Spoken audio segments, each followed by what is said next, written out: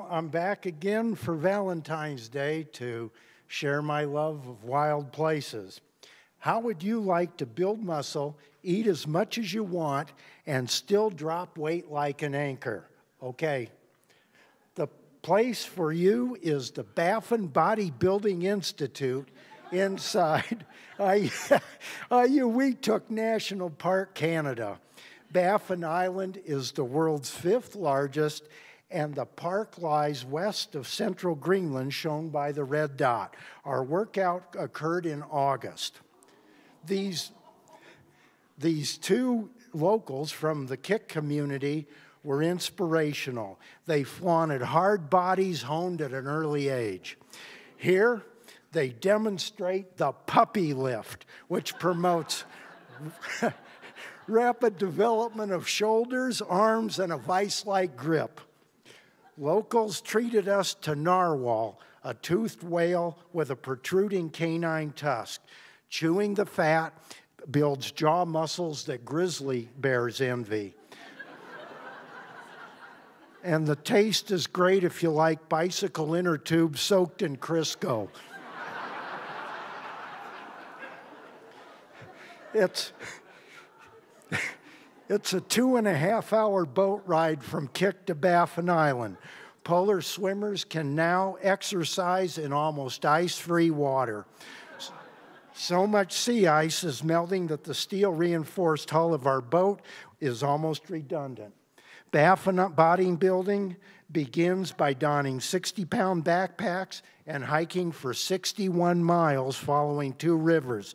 This massive outdoor gym occurs, uh, offers diverse workout stations with many inclines and speed settings. Muskeg marks our first exercise station. The soft, wet soil massages our feet as we sink to our ankles. Our slow pace allows time to build turkey thighs and reflect on the money we save by avoiding a conventional fitness center. we, we get a shaky start on the Rock Stairmaster. Miles of Rock Pilates has its ups and downs and continuously puts us between rocks and hard spots. The sand trap treadmill provides an even more intensive cardio workout. The 100% natural surface is gluten and salt free. and, and no mindless indoor videos are needed to convince patrons that they are exercising outdoors. After miles of heavy sweating, how about a refreshing walk through an icy cold stream? We cross many along our exercise route. Canada Parks reported most visitor deaths are caused by drowning and exposure from unplanned swims. Bodybuilding also requires resting after vigorous workouts. We routinely practice the yoga shavasana pose long,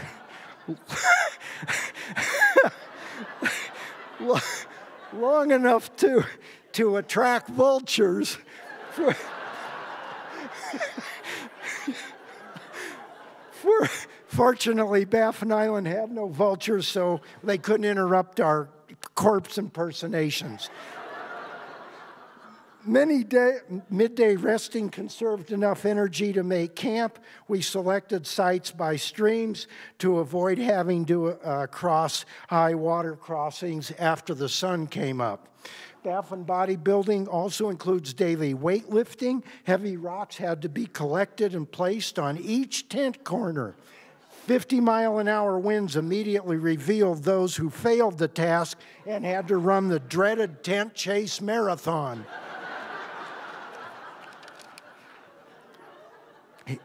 Here's a typical dinner loaded with carbs, sugar, and enough cholesterol to cause cardiac arrest in a yak.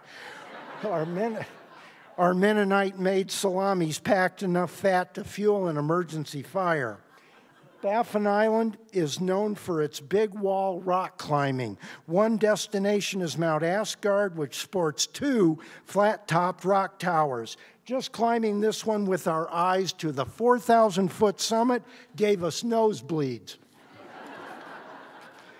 Mount Thor is also a renowned climbing destination. From its peak, you can bungee plunge 5,000 feet before splattering. we chose instead the, this river campsite with a drop of no more than six feet, depending on personal height. Note the, oh, the red tents. Uh, big disappointment was not seeing big animals. Park staff reported big declines of polar bears, caribou, and seals within the last decade. These antlers are the only caribou we saw and might dispute that changing climate is a hoax. Hundreds of Canada geese, both adults and goslings, were seen on the floodplains. Predators included the Arctic fox and at least one low flying peregrine falcon that appeared to have a beer gut. we also rested at emergency shelters scattered along the exercise track.